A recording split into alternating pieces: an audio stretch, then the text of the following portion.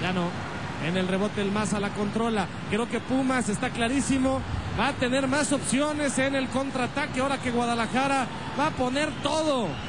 Equivocación, equivocación de Carmona, la tiene Leandro Augusto en corto botero, sigue Leandro que tiene buena pegada, sigue Leandro, centro, solo Botero, desvío, palo, contra remate de Fonseca, llega Israel, gol de Pumas. El parejita después del intento de Israel llega y la mete y Pumas tiene la ventaja después de esta acción donde se festeja con la porra que viaja de la Ciudad de México. Ahí los tienen. Minuto 31.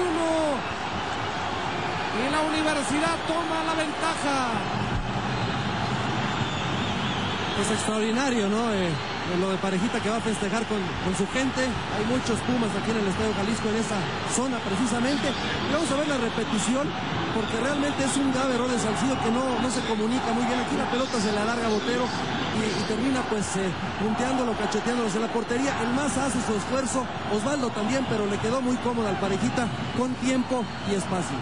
Me parece que el grave error de Salcido es querer tocar la pelota cuando tiene, llega antes al esférico, puede reventar, se quita de problemas bueno, de ahí surge de una equivocación, la pelota va a dar al poste y de ahí cae la anotación. Viene Guadalajara, Carmona, Sol, empieza Morales, Ramón Morales a evidenciar cierto cansancio. Monarcas Morelia ha contratado a Eduardo Acevedo, una gran institución, felicidades. El ex técnico de Tecos pues tiene mucha tarea en ese equipo. Aquí que dice el árbitro penal. Está marcando Robert penal. No me parece de primera. ¿Qué dice el asistente Martín? El asistente se pone precisamente para señalar también, llega y le reclama Leandro Augusto, pero también parece que de primera instancia dramatiza el jugador de Chivas, por eso están pidiendo la tarjeta, pero el penal está decretado por parte del árbitro. Y en la Minerva festejan esta señalización de Glower.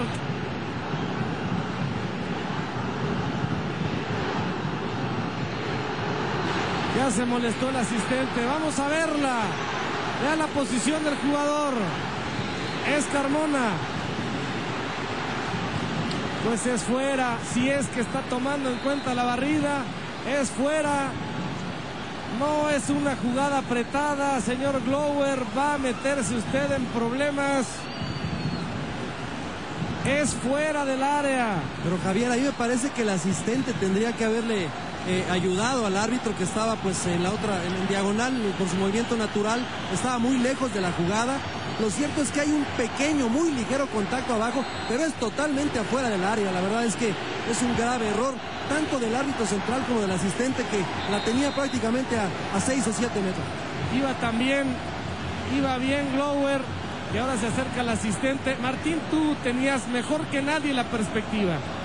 Sí, queda fuera y en el dramatismo que le pone Carmona es lo que sorprende al árbitro y por eso marca de manera directa el penal. De hecho, el mismo árbitro, el auxiliar número uno, José Francisco Ramírez, en cuanto ve que el árbitro marca, él corre a ponerse en la zona donde obviamente también se avala que se está marcando penal. Pero me parece que el dramatismo que le pone Carmona es lo que desconcentra al árbitro. Y bueno, ahora se dirá, ¿y por qué no Marco Rodríguez? Viene Morales, momento cumbre de la final. Morales contra Bernal, Ramoncito.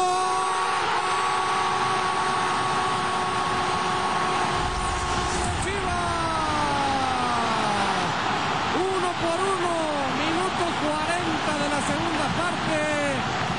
Los Pumas están desconsolados, Fonseca sigue reclamando, estira los brazos, Beltrán explicándole al asistente Juan afuera estuvo la falta, Westerhoff vuelve a suspirar, vuelve a tener esperanza y vendrá un movimiento, César.